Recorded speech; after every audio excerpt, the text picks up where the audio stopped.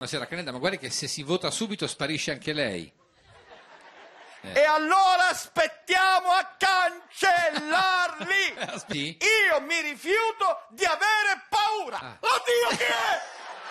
Cicchiamo! Ah, eh beh, sì. Certo, un partito ha un senso Eh. se riesce ad arrivare alla soglia dell'8-10%. Sì. Se non ci riusciamo, perché noi non ci riusciamo. Ma non è detto, non è detto, non è detto. No, eh, hai voglia, vuol dire... Va bene, vuol dire che ho fallito. Vabbè, ma non ci Tenga pensiamo. conto che per 30 anni pensavo che Montezemolo fosse un genio Va-